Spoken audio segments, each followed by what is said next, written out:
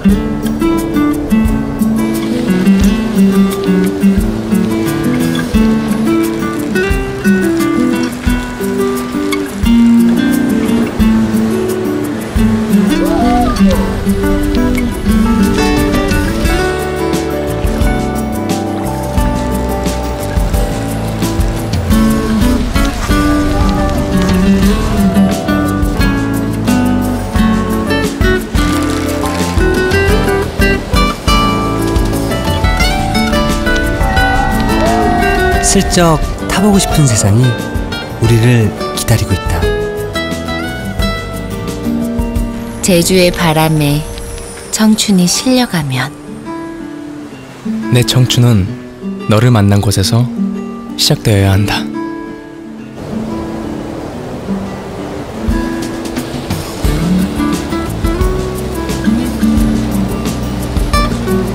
여행을 시작하다.